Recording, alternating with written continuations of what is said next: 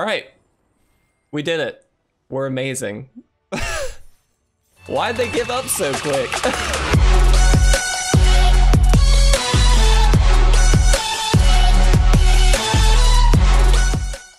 What's going on guys? If you want to support our content and pick up this month's amazing Patreon rewards, you can do so at patreon.com slash itresolves. If you're interested in custom playmats and sleeves, visit yourplaymat.com and use code ITRESOLVES10YP for 10% off your entire purchase. What is going on everybody and welcome back to another gameplay video. We are going to be jumping back into standard a little bit today, uh, but before we do that, just as a quick reminder, please make sure you subscribe to the channel. We do have a giveaway going on right now for a free Innistrad Crimson Vow bundle. Uh, subscribing to the YouTube channel as well as the four other platforms linked below uh, gets you the best possible chance of winning that bundle. So I do want to wish everybody good luck. Thank you so much for being a part of our community. And let's talk about today's deck. So, Dimir Rogues, uh, a deck that we have seen a good bit in previous iterations of Standard, and one that I happened upon in my searching this morning. Uh, this list is by MTG Malone. It is not my list, uh, so I just want to clarify that he did create this.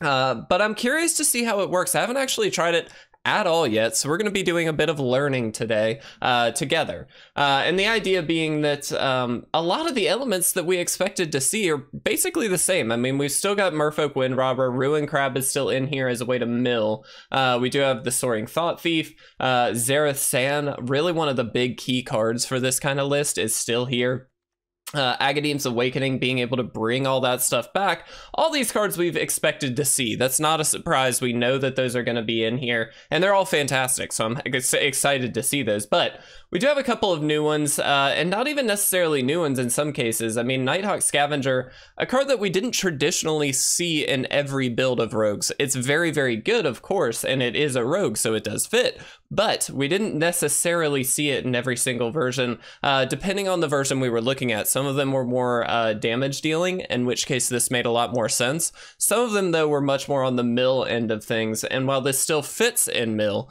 uh, it's not necessarily forwarding that game plan so much. So I'm curious to see how this actually plays out.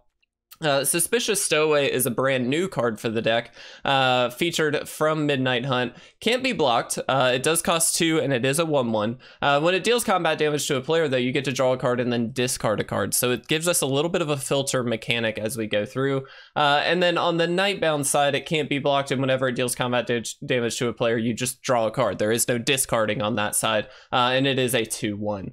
Um, we also have things like Rogue class that really is hopefully the I mean the idea is it's going to make things very difficult for our opponent to block, but then it also gives us extra cards from their deck, uh, which is really fun. We kind of get to steal stuff uh, if we if we play it right. So hopefully we can get there. Uh, Divide by zero is in here, which does give us access to uh, some nice little lessons from the uh, the sideboard here, and then Crippling Fear is a card that we actually are adding in here. Uh, choose a creature type. Creatures that aren't of the chosen type get minus three minus three. This is going to help a lot against most of the aggro lists, things like that. Uh, goblins is very, very key, I think, to be good against. Uh, this allows us to get rid of that hobgoblin if there's only one on the field, and then hopefully sweep the rest of the board as well, to be honest. So very, very good. We do have It Coming and Infernal Grasp for some uh, interaction here, and we do get to leave up a good bit at uh, instant speed. Now, not everything, of course, is, you know, flash uh, or instant speed, so we are going to have to play around that a little bit, and I'm kind of curious to see how this one goes. I don't know if it's going to be that good, um, but I do want to give it a shot. We do have Field of Ruin here, which does help with the Ruin Crab, but it also gets rid of Manlands. Uh, we're probably going to crack those a little bit more often than we normally would, just if we do have the Ruin Crabs out. Uh, and then Hive of the Eye Tyrant here is uh, as well just a nice little creature. So we'll see how this goes. I think it's going to be interesting. I don't know again how how many wins I should expect or anything like that. Uh, so this is going to be a learning experience, but let's jump right in, guys. Let's see what we can do. All right, guys, here we are for game number one, and this is definitely a keepable hand. We've got a lot of two drops here. Uh, we have to choose between the Thought Thief or the Stowaway. I think either way, I'm pretty stoked about it. So let's go ahead and keep this, and we'll see what we can do. We'll probably just lead off with the island here. Sure. Uh, that's going to give us a second untapped black source, which is going to help with the scavenger, uh, which is great. So very happy to see that. Uh, and we'll see what we can do. That's very good for us. That should help quite a bit. Uh, and I think I'm just going to pass here, actually. Uh, the only reason I'm doing this is so that way if they happen to throw a creature out that we can block. Uh, interesting. Okay, we'll go ahead and throw this out now. Uh, there's really no reason not to.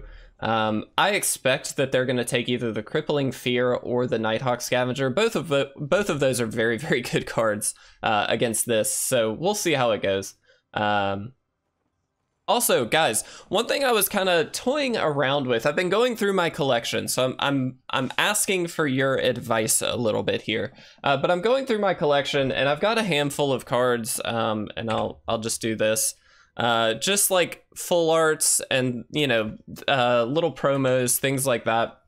Some of those I don't particularly need to hold on to. Uh, at least in my opinion, I don't need to hold on to them. And uh, so I'm curious to know, do you guys like? Would you guys be interested in doing like auctions? Do you want to do any kind of? Uh, let's do this any kind of sales or would it make sense just to literally throw them out as a for sale kind of thing? Um, let's do this. I'm happy to attack here. We mill a couple cards. I feel like that's probably worth it. If they want to block, that's great. Um, looks like they don't. That's fine by me. Um, and just curious if that's something that you'd be interested in doing. I think auctions would be kind of fun. Um, it would add a little bit more hype to it uh, versus just open open open selling on like TCG Player or something like that. So I'm just I was just curious what your thoughts were. Uh, if you have an opinion on it, or if you'd like to get something out of those, that's great. If not, don't worry about it. It's all good. Just curious. All right, this is really annoying because that does make Crippling Fear a lot worse. Um, I am going to block here. That gains us a little bit of life. Uh, it also just gets something off the field, which we kind of just have to do. Um, all right, uh, there's not a whole lot we can do here, unfortunately. I guess we can... Huh. I really, really, really wish we could do a bit more here, but I don't know that we can. I think we're just kind of in a bad position, so... I guess we just throw out the suspicious stowaway. Um, it's not great. I think we're just gonna get outpowered here, uh, which, I mean, it is what it is. All right, now I wish I had left up saw it coming. uh, but that's fine, sure. Interesting, okay. Um, I'm gonna double block here. They can only kill one of these, which is useful. Um, I suspect it's the stowaway. Yeah.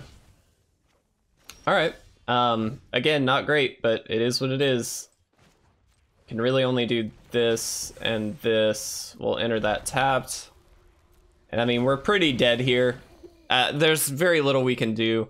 Um, but again, it's okay. We're here for the learning experience. So yeah, I'm gonna go ahead and concede, guys. Let's, excuse me, let's go ahead and jump into game two.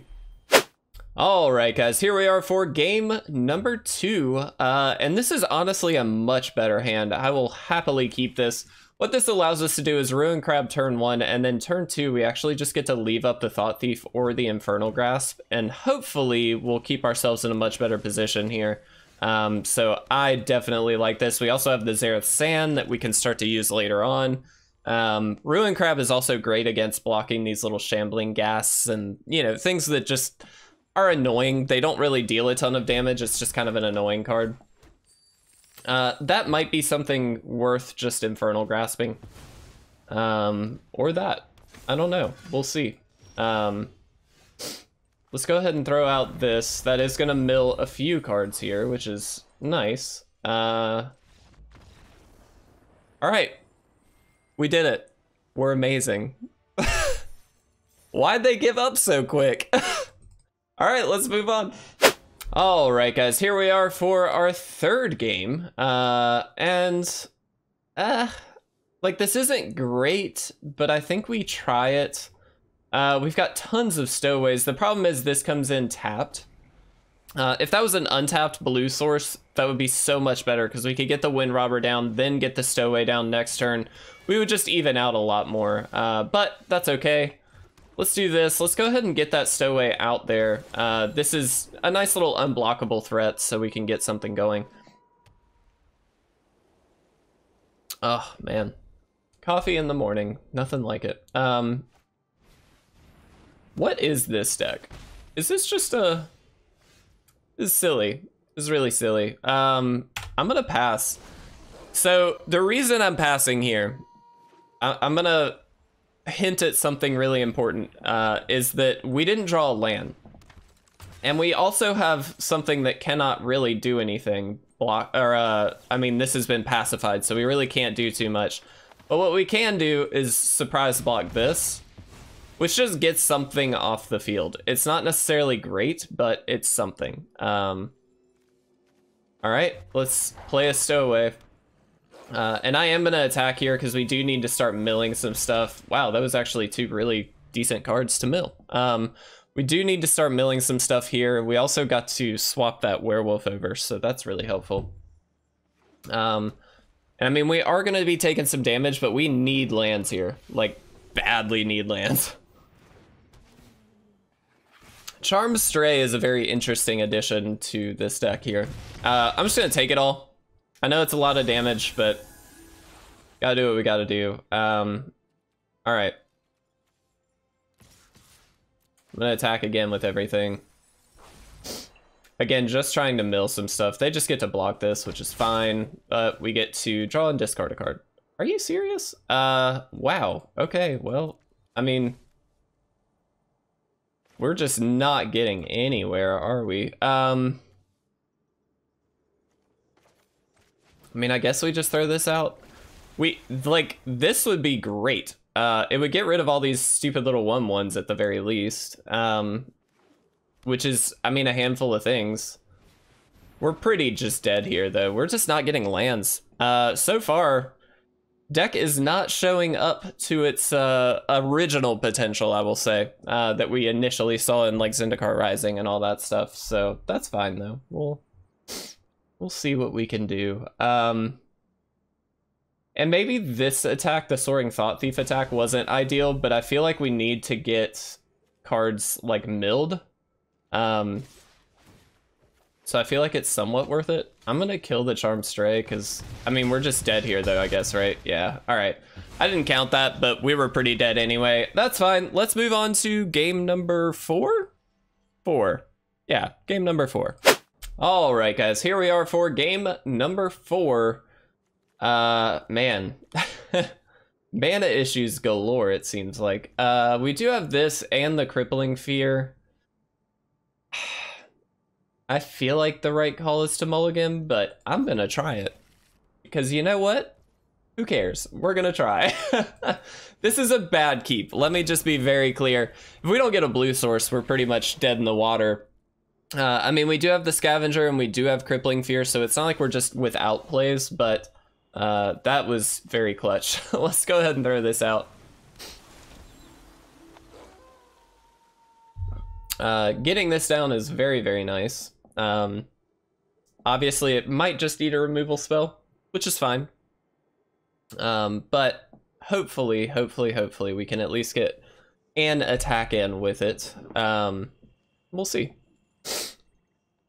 We've got plenty of threats to kind of maintain here. Okay, so this is probably going to be some kind of like just mono black kill everything kind of deck, uh, which is fine. I'm going to play the Scavenger out.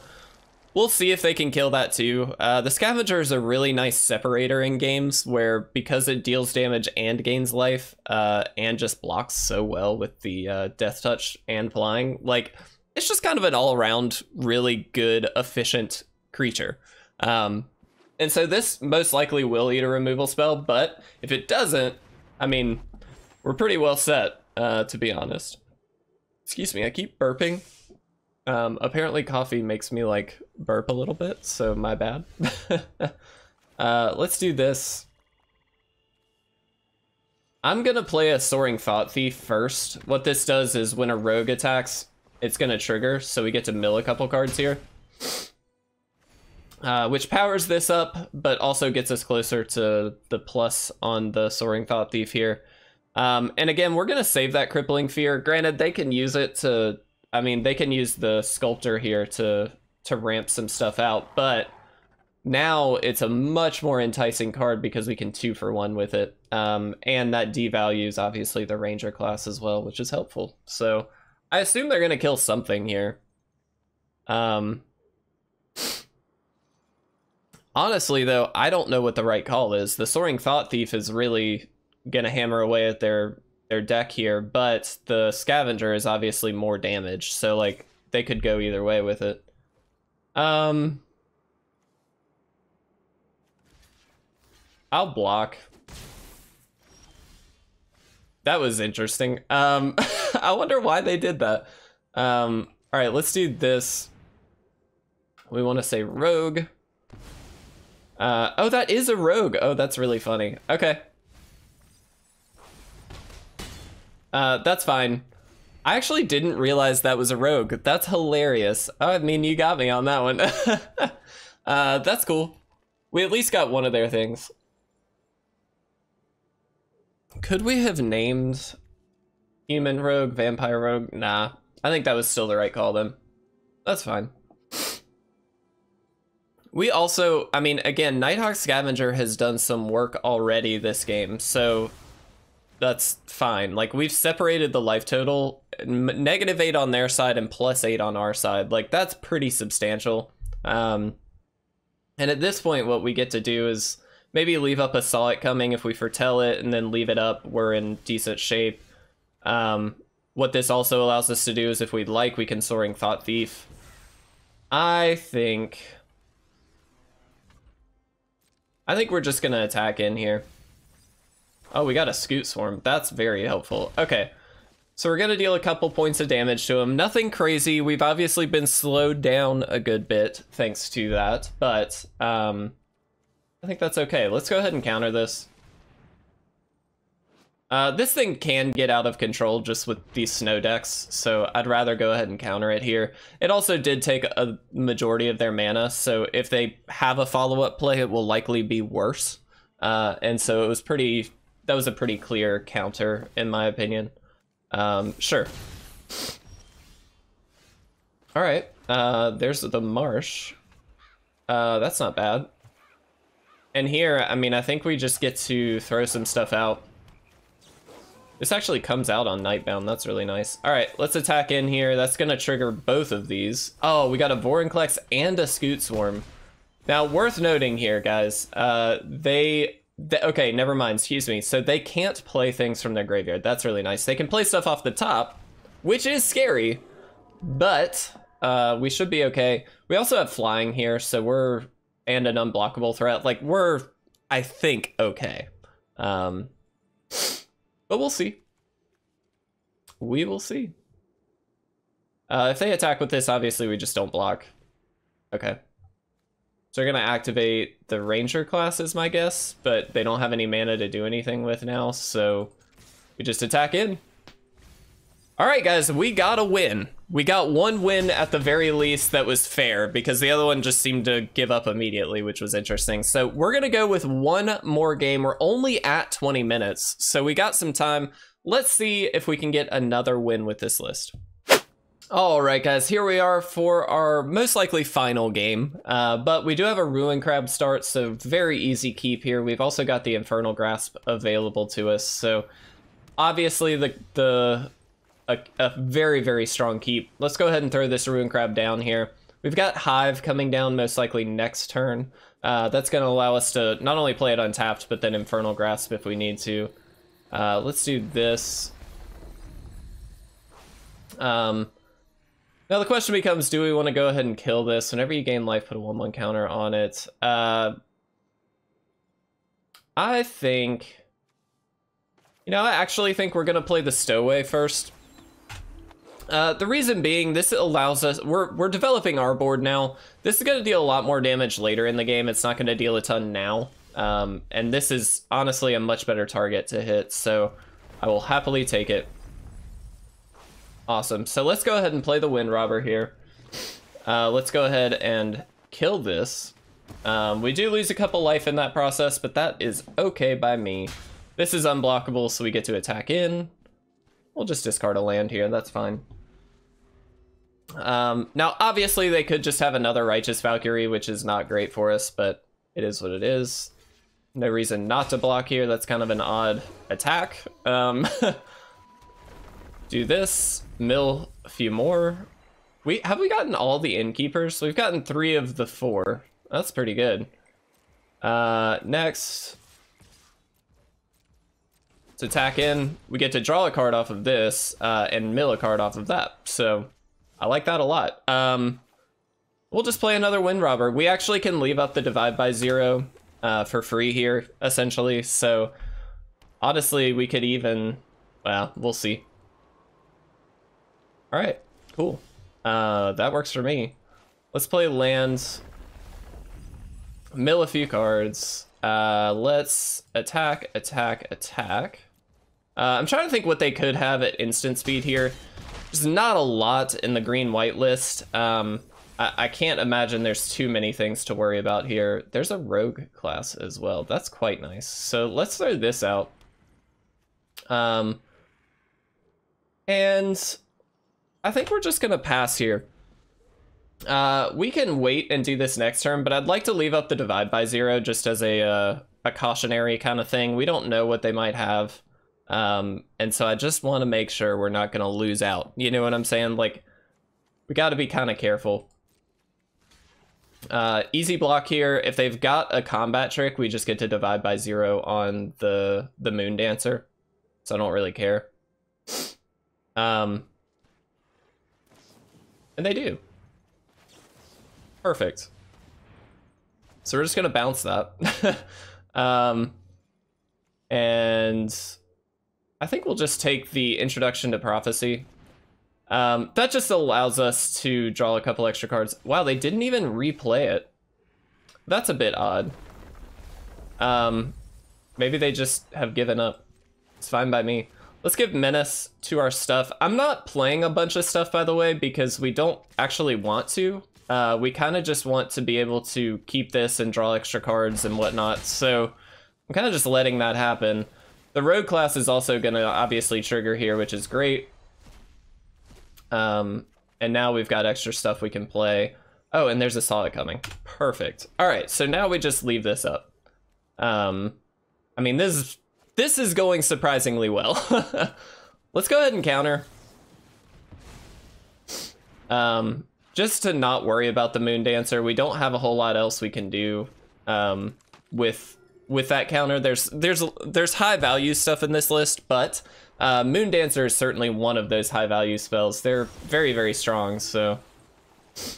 Awesome. Uh, let's mill three. Uh, let's see. I'm gonna do this.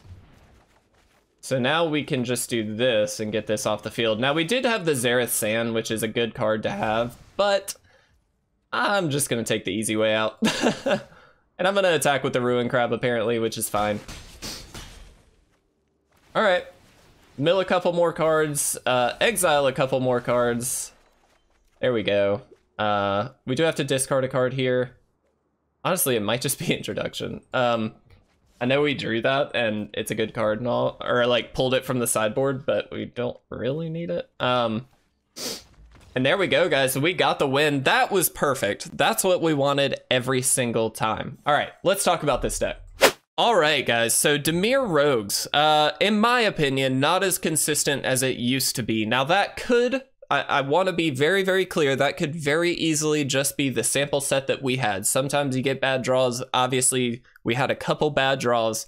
Uh, we probably could have played better in certain circumstances, but I don't actually think we were far off from the generally most optimal line. Um, and even if we were, I think in those games we kind of were able to get the win anyway. Um, I will say Ruin Crab start is as good as it's ever been. Uh, it's great to have a Ruin Crab in the deck because you're able to just start milling, milling, milling. That's going to buff up all your stuff with the Soaring Thought Thief. That does a lot more for you. Uh, and uh, obviously with Nighthawk Scavenger, it's a very powerful kind of uh, synergistic play. So overall, I really, really, I still like Dimir Rogues. That being said, I don't think it's as good as it used to be. It's fun. Um, but I wouldn't necessarily suggest it on the ladder. Uh, I think it has a lot of struggle against some of the mono white aggro lists. We saw that in, I believe, game one.